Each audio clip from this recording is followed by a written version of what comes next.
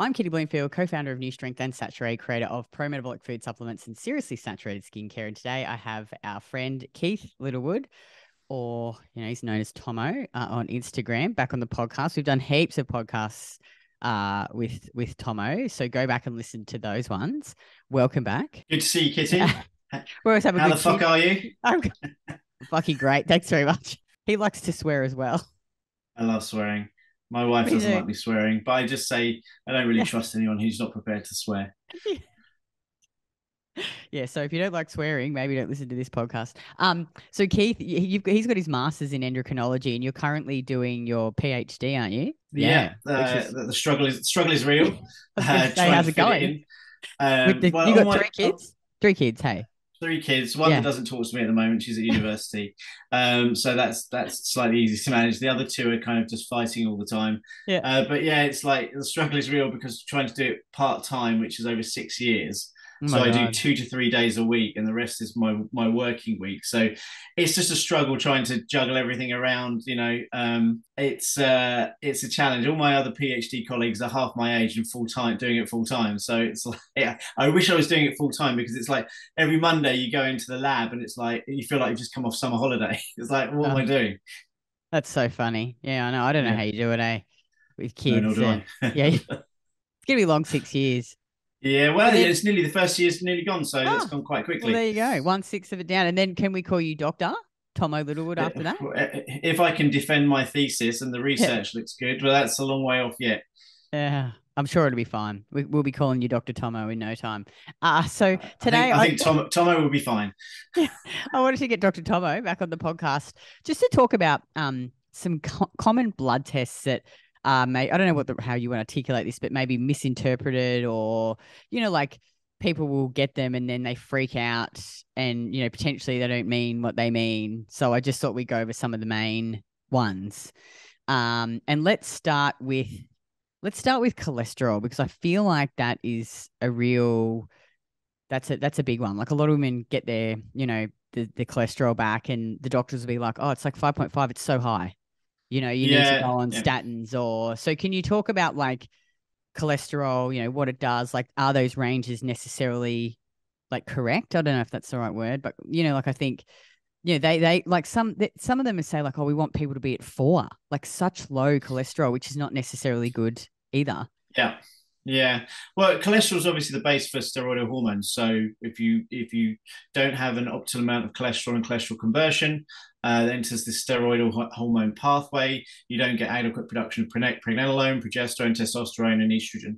Uh, and so the, the idea, and another key component of cholesterol is it's an anti-inflammatory. Uh, it's it's a, it's an antioxidant that's often elevated when your body is inflamed. So seeing cholesterol elevate is is is a is a warning to sign to say "Oh, actually maybe something's not where it should be. The other key component and a well-known uh, symptom, uh, an expression of low thyroid function, is high cholesterol. So these days the the levels have been gradually brought down and down and down. Uh, to fit this reference range, which is ideal really for creating more uh, clients, patients, customers for for statin medication. Now, the idea that the lower the better is not borne out in primary care. I think there's some justification, or cardio, cardio, cardiologists will say there's some justification for people who are in imminent um, susceptibility of having a heart attack may benefit.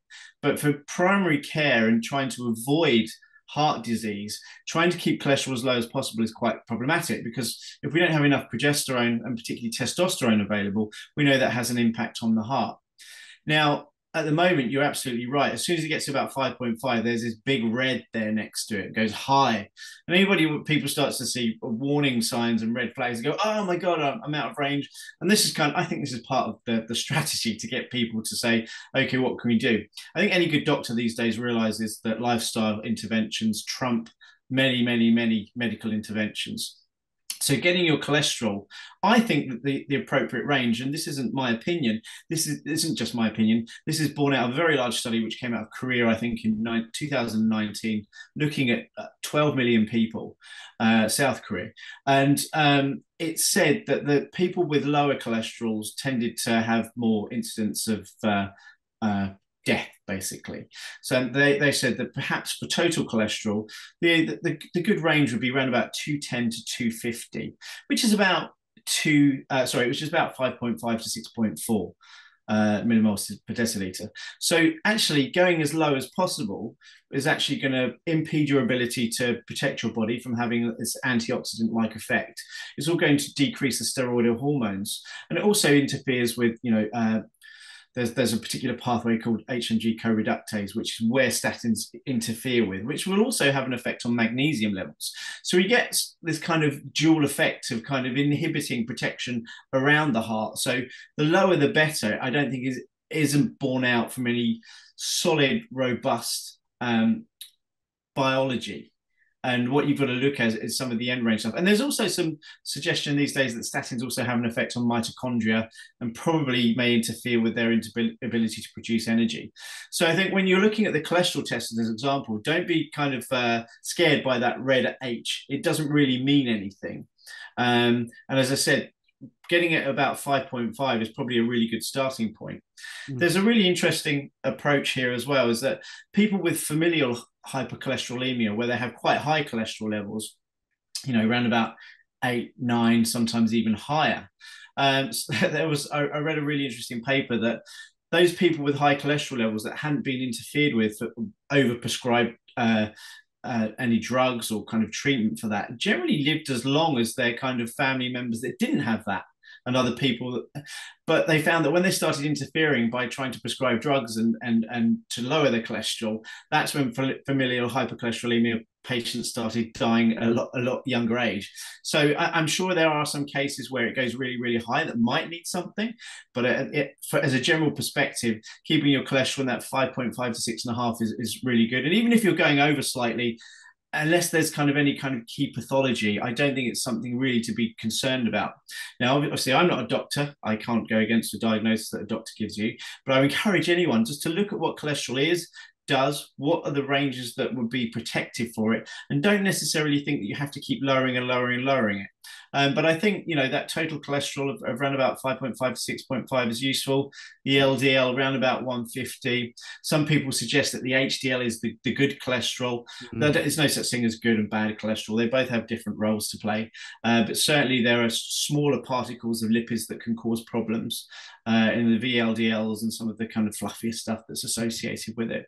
So I think also looking at uh, cholesterol as being protective and, and, having this antioxidant effect, mm. and also being a, a, key indicator of thyroid function. Most people with uh, low thyroid, their cholesterol will elevate. Now, there are loads of key symptoms, as we know, we've talked about many times what are the key symptoms. Uh, and kind of di- uh, things that will add to a diagnosis of low thyroid function. Uh, and I think cholesterol it might not always be as elevated as, as one might think in low thyroid. Everything doesn't tick the boxes. You don't have lateral third of the eyebrow loss, constipation, low energy, brain fog, uh, infertility, uh, high cholesterol. Not all of these things just tick at the box all straight at once. Mm. There are different components of physiology that will say, okay, this this bit's not functioning as well as it could be right now. This bit's not functioning as well as it could be, and, and over time they may all get to that point, but they mm. very rarely tick all those boxes all at once. And that's where you can look at other aspects of blood testing. I'm really really interested in looking at symptoms because at the end of the day, people will go to a doctor or a, a, a nutritionist or a functional med practitioner or whatever it is, a coach, uh, and they will have specific loss of function. And I think that's what you have to address is what is it that is in someone's life right now that they don't have that's making them miserable? And you have to work on relieving symptoms and getting their function back so those symptoms mm. don't keep being expressed. It's all very well going to a test uh, uh, for a, a a checkup. And this is where kind of people like the Ivan Illich, who I'm a big fan of, would always say that going to a checkup is a great way of t- t- turning a person into a patient, literally one mm-hmm. fell swoop, right? Because you get someone who's out of these arbitrary markers that say, right, you have a disease now. And just go, but I, I feel fine. Well, no, but your, your blood tests say that you're way out. Uh, yeah. And sure, there could be somebody who's actually really, really sick, and a very small, minute possibility that somebody could be really sick. But as a rule of thumb, this is where overdiagnosis and overtreatment tends to create more problems. So this is why I think not looking at blood tests as this kind of holy grail. Look mm. at some of the symptoms that are being expressed. And we know, and we've talked about thyroid, and probably lead into that in a second about why stress, high adrenaline, high cortisol can suppress thyroid function. And then everyone goes, well, the doctor will go, well, your blood tests appear completely normal. And are those ranges actually accurate at, at detecting proper hypothyroidism in its mm. subclinical forms and do they affect everyone at, at any given time?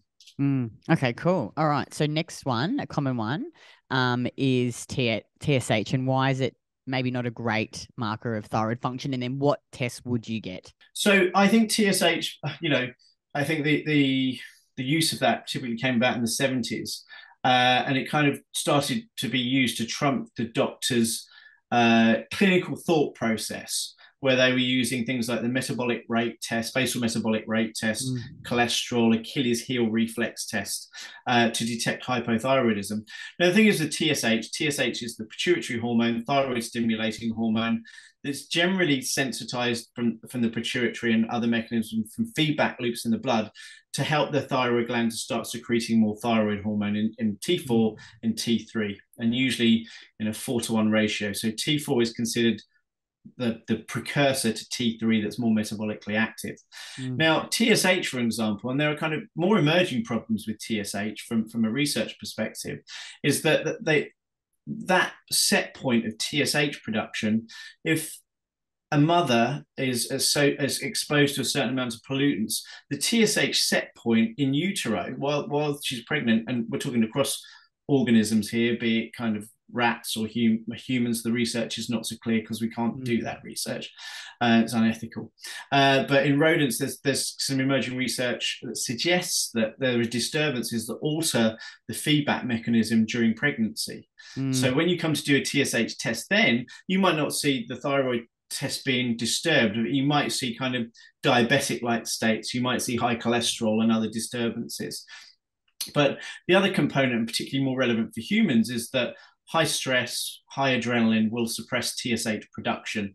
Mm. High estrogen can have an effect of kind of disturbing the amount of thyroid that's being produced, but usually sometimes with long long range of estrogen exposure, you might see TSH being increased.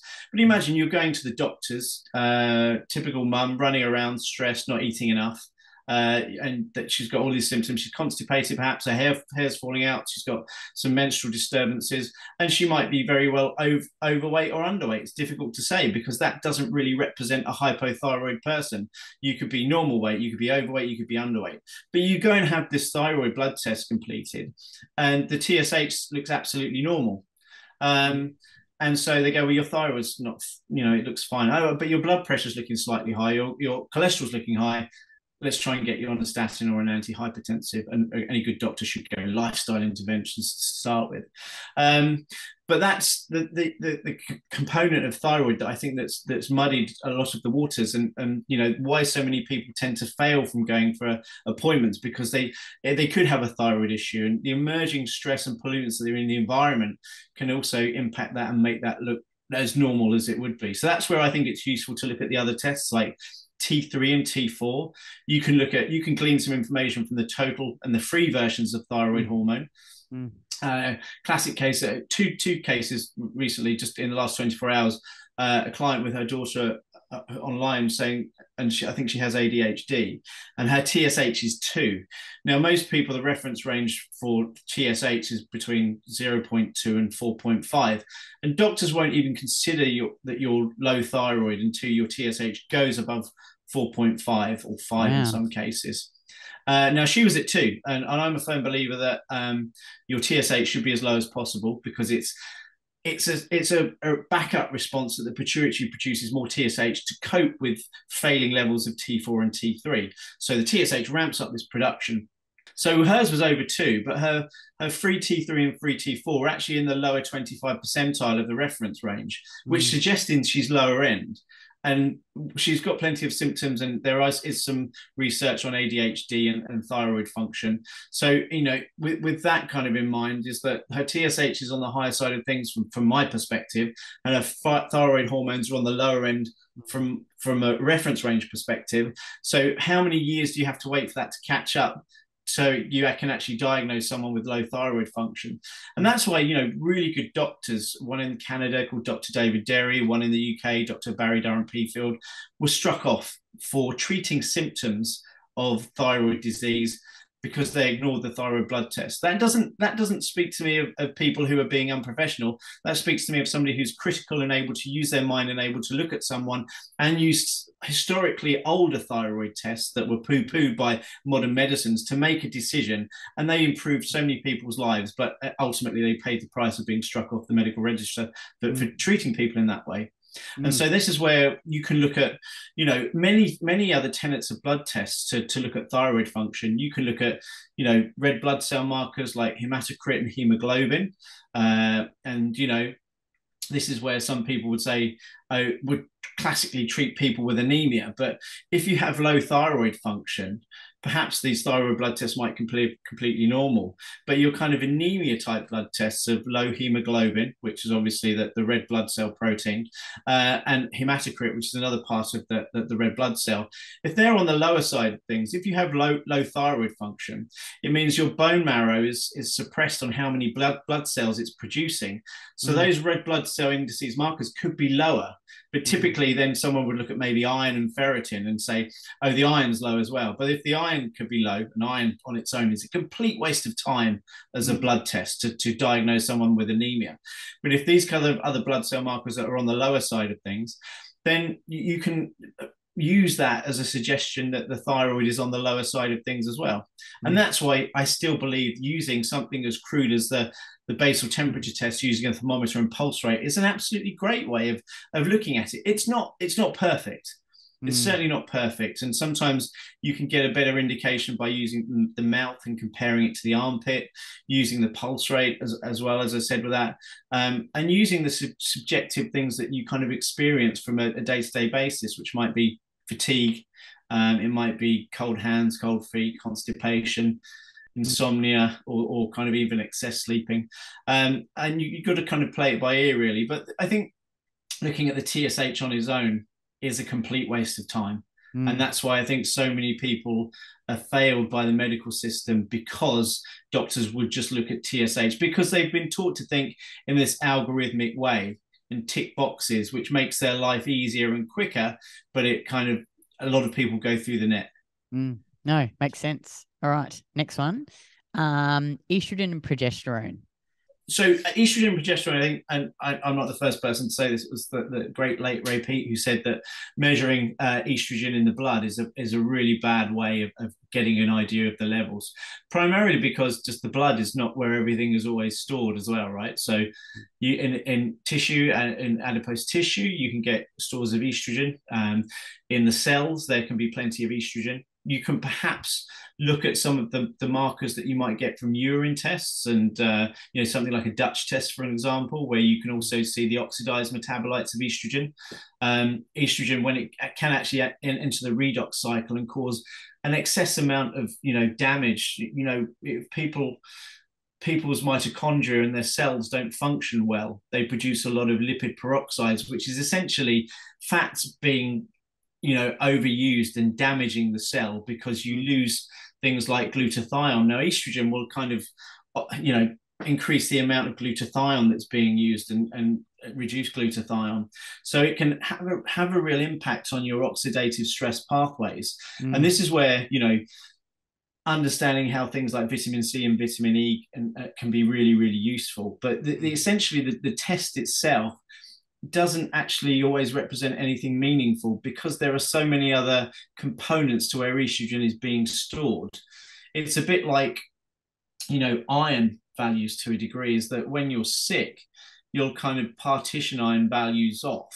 Um, and sometimes the cells do this to prevent iron going into the cell and overloading it. So it's always as well, people will often go for blood tests when they're feeling sick or unwell um, and that's not always a good place to get blood tests done because mm. in some cases the, the actual expression of, of the test that you need to see are totally masked by the other things. That's not the case all the time, but sometimes it's like if I'm working with coaching clients, I get a lot of people saying, "What blood test do I have done?" I go, "None." Let's let's get you on an even keel to start with. Let's get your nutrition sorted. Um, if you if you're kind of doing that all right already feel free to go and get some tests done. But often most people don't need to and, and you and i both know from working with many people is that if you get someone on an even keel with nutrition manage their stress get their exercise right get their sleep what, what, right and females getting their menstrual cycle kind of perfect or, or as close to perfect function as possible getting guys with optimal t values you know the, these are the these are the things that will kind of normalize blood tests and by the time you've actually got that done Mm. they're feeling well enough where they don't need to go and get any blood tests done. Now, mm. that, that's that that's not to say that that's everybody because you know the best will in the world, you know, we still see plenty of people that eat really well but still have problems. And this is where the testing can, can come into play. And usually a good time to get some of the tests done if they've been doing all the right things. Um, and, uh, you know, sometimes, you know, it, there's some environmental stuff that needs to be tweaked within their own environment that, that can improve that. So, yeah, it's, uh, I, I think blood tests have a place but they're not the, they're not the kind of gold standard that that, that mm. physicians kind of always rely on. Mm, mm. No, that that makes sense. Um, and uh, what about iron and ferritin? Yeah, so as we kind of touched on briefly there, that, you know, people are, uh, particularly females, are often told they're anemic, uh, and the, the, the, values that are often looked at are iron, ferritin, uh, tissue iron binding capacity, transferrin saturation. These are all useful tests. Now, the, the, as I said, the, the, the iron test by its own doesn't mean anything at all. But low iron with low ferritin can give an indicator of heading towards anemia. But sometimes with low thyroid, you can still see this marker. This is why looking again, looking at the hemoglobin and hematocrit values, and also we have other red, red blood cell markers as well, uh, such as uh, mean corpuscular hemoglobin content or MCHC or MCV, um, mean corpuscular volume, and also another one called RDW, which is red cell distribution width some of these will have varying issues, but you can usually tease out with with thyroid um, whether these are actually someone is actually anemic or not. But I think in a lot of cases, people can be anemic, um, but actually the, the pre- presentation is being anemic, but also the thyroid is actually what's low here. So I think it's really important to kind of tease that out. Temperature and pulse again here. If the RDW is elevated, sometimes even above 13, uh, mm. That can be an indicator of low thyroid function. It can be of, of anemia as well, but I think you know, looking at could the cholesterol be involved here? Could uh, liver enzymes be altered?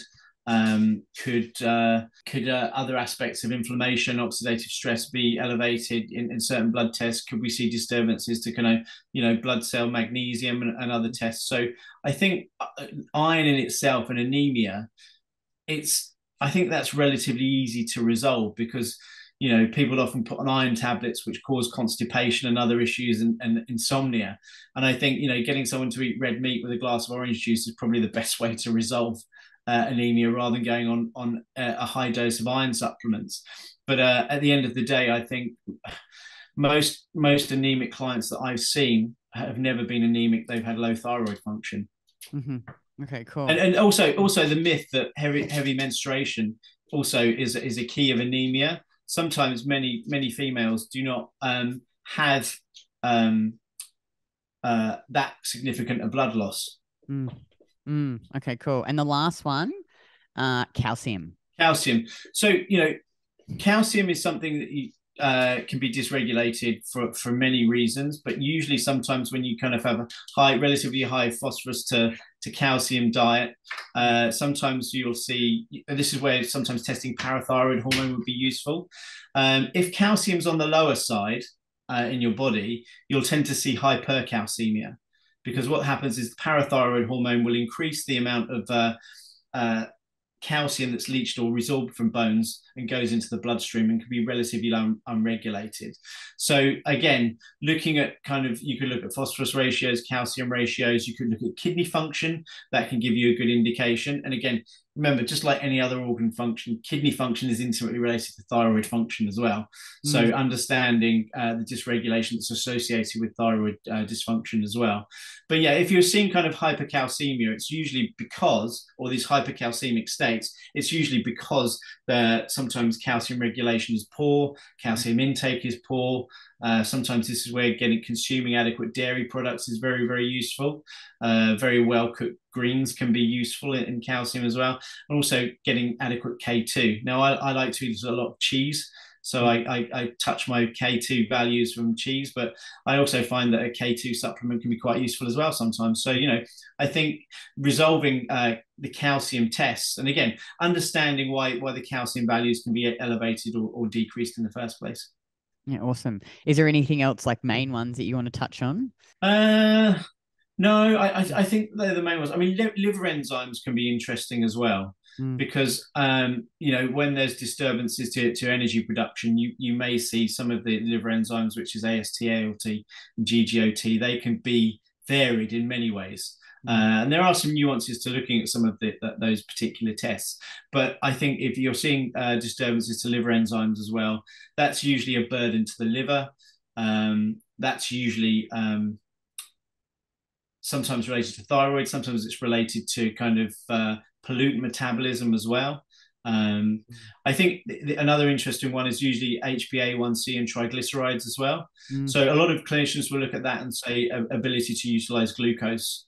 Um, now, I think the, the problem with just assuming that the glucose is the issue there, HbA1c is, is supposedly the pre-diabetic test. Um, and usually you'll look at something as well called HOMA-IR, which is basically the homeostatic control mechanism of insulin release. So those tests are done to look at someone's kind of capacity to utilize glucose uh, and, and, blood glucose as a fuel. Now, the, the test itself is not it's not a, a determinism of diabetes. Uh, and a lot of people will misuse it to say that oh it's because you can't um, you know you can't you're, you're consuming too much sugar um, it's usually a sign that you can't metabolize glucose efficiently. But the actual test itself is fraught with inherent difficulties. So it's not not always a good test. And we know that with glucose, for example, having this this uh, this range again, when it's usually flagged, if someone's over 100, it's usually said, oh, high glucose, or, you know, get, getting over 110, high glucose. So, well, now you need to cut back on sugar, as an example, just because you're consuming too much sugar. Mm.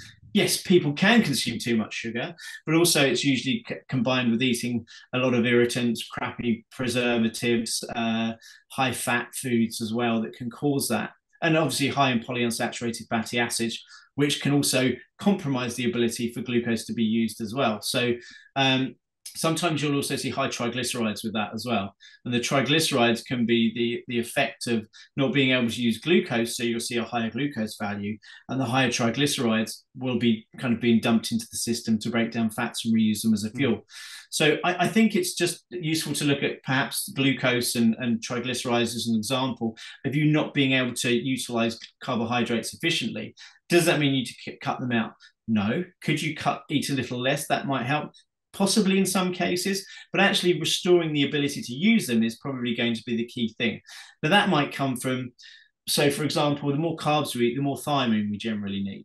Uh, now, as a rule, with your kind of RDAs, a lot of people say that if you if you have like um, an extra thousand calories, in your diet coming in, especially mainly from carbs, and this is where kind of perhaps athletes who might increase as well, is that you need an extra milligram of thiamine. I think that kind of uh, value is kind of grossly misinterpreted because often these, some people do much better on 50, 100, and some studies show 600 to 1,000 um, milligrams of uh, thiamine a day. So thiamine and your you know B2, B1, B2, and B3 can be really good uh, ways of being able to use carbohydrates more efficiently, uh, as can being able to utilize enough thyroid hormone. So you'll often see um, a lot of issues around metabolic syndrome, which is classified as your high cholesterol, high triglycerides, poor glucose dysregulation there's so much evidence that suggests that people can be hypothyroid or subclinically low thyroid. And bearing in mind, these people are going to be pretty disturbed from a metabolic perspective. Mm. So, again, looking at those thyroid blood tests might not be a great way of understanding that. But having this kind of metabolic syndrome profile might be a good indicator that somebody needs more thyroid to be looking at. But again, going back and look at TSH might be a poor indicator here this is where cholesterol values being elevated might be a, a good indicator that the thyroid need is, is, is something that needs to happen. Mm, awesome. Um, well, thanks so much, uh, Keith. And as always, guys, don't forget to take a screenshot and share your biggest takeaways on Instagram stories and tag me at K I T T Y B L O M F I L D. And each week I pick a winner. Uh, sorry, each week, each month I pick a winner and they get a tub of Saturée Premium Collagen valued at $79. Now, I will pop all of the links to Tomo in the uh, notes uh, below. And yeah, thanks so much, Tomo. I'm sure we'll have you back on soon. It's been fucking great.